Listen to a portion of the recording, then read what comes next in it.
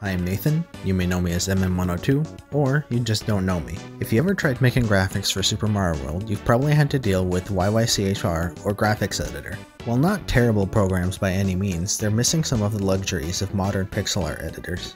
Today, I present an alternative to these two programs in the form of an Aseprite script, SNES Tools. SNES Tools lets you import and export graphics files entirely within Aseprite, letting you work with all of Aseprite's features. No more endless copying and pasting to Graphics Editor. To install the script, go to File, Scripts, Open Script folder. From there, copy the SNES Tools folder to your script folder. To activate the script, again go to File, Scripts, SNES Tools. If you don't see it, press Rescan Scripts folder. If you're going to be using this often, I recommend binding a hotkey in your keyboard preferences. Here are the features of the script, also included in the README file. The first thing is the bit depth toggle. This allows you to switch from 4 bits per pixel to 2 bits per pixel modes on your current graphics file. It's also used when importing or creating new graphics files. Import lets you import a graphics file into a sprite using the current bit depth.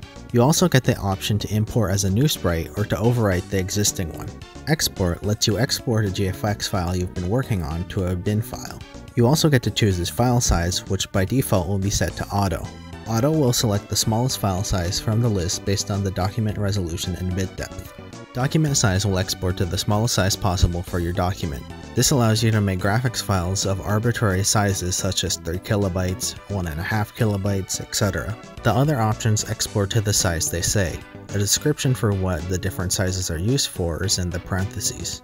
Quick Export exports the bin file to the location the Aseprite document is saved, using the same name as the document. The file size will always be automatically selected when using Quick Export. This is best for exporting quick changes to a bin file for testing. Make sure to trust the script to minimize as many pop-ups as possible. Next we have the palette tools. Import palette lets you import a PAL file from Lunar Magic into Aseprite. Export palette lets you export a PAL file from your Aseprite palette. If your palette is bigger than 256 entries, it'll only export the first 256. If your palette is smaller than 256, the rest of the PAL file will be black. Shifting the palette up and down will change what palette row your file uses. You can also set the palette using a specific number. You can also select different areas and change their palette independently, meaning you can work in multiple palettes at the same time. Changing the palette does not affect the export because the palette is reduced during export. And finally, we have the option to create a blank GFX template. This will set up a new document automatically for making GFX files. The size of the document is based on the current bit depth and the GFX size you've chosen. And that's it. That's a brief overview of the tool. Hopefully you find some use out of it. I've had it half finished for like half a year now, so I finally got around to finishing it. But overall, it was a lot of fun to make. If you have any more features you'd like me to add, just let me know and I'll consider them. Also, if you're interested in making Super World characters specifically, check out this video's sister video.